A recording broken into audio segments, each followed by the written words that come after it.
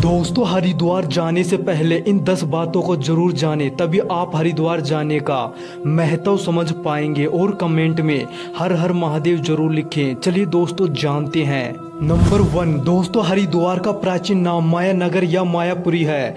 हरिद्वार अर्थात हरि के घर का द्वार।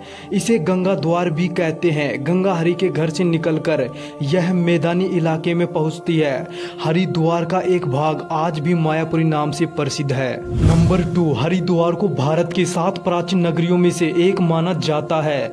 पुराणों में इसकी सप्त मोक्षदायिनी पुरियों में गणना की जाती थी। नंबर थ्री, हरिद्वार गंगा के पावन तट पर बसा है। कहा जाता है, समुद्र मंथन से प्राप्त किया गया अमृत यहाँ हरिद्वार के हरि की पौड़ी स्थान पर गिरा था। इसलिए यहाँ पर कुंभ पर्व का आयोजन होता है। नंबर फोर, हरिद्वार को तीन देवताओं ने अपनी उपस्थिति से पवित्र किया है, ब्रह्मा, विष्णु और महेश। नंबर फाइव, कहा जाता है कि भगवान विष्णु ने हरि की पौड़ी की ऊपरी दीवार में पत्थर पर अपना पैर छापा है, जहाँ पवित्र गंगा हर समय उसे छूती है। नंबर सिक्स, कनखल हरिद्वार का सबसे प्राचीन स्थान है। इसका उल्लेख पुराणों में मिलता है। यह स्थान हरिद्वार से लगभग साढ़े तीन किलोमीटर दूरी पर स्थित है। कनखल का इतिहास महाभारत और भगवान शिव से जुड़ा हुआ है।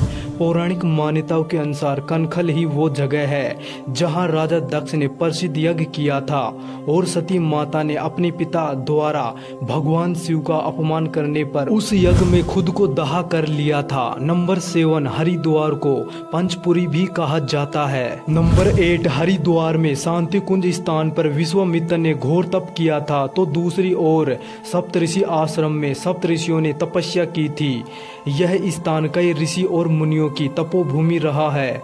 और दोस्तों, भगवान श्री राम के भाई लक्ष्मण जी ने हरिद्वार में जूट की बनी रस्सियों के सहारे नदी को पार किया था, जिसे आज लक्ष्मण झूला कहा जाता है। नंबर नाइन, यहाँ शक्ति त्रिकोण है। शक्ति त्रिकोण अर्थात पहला मनसा देवी का खास स्थान, दूसरा चंडी देवी का मंदिर और तीसरा सती का शक्तिपीठ, जिसे माया देवी शक्तिपीठ कहते हैं। यहाँ माता सती का हृदय और नाभि गिरी थी। नंबर टेन, हरिद्वार में ही विश्व प्रसिद्ध गंगा आरती होती है। हरिद्वार की गंगा आरती देखते हुए उन्नीस सौ इक्यानवे में वाराणसी में दसरों में घाट पर प्रारंभ हुई थी। दोस्तों, यह जानकारी अच्छी लगी तो प्लीज़ वीडियो को लाइक और चैनल को सब्सक्राइब ज़रूर करना।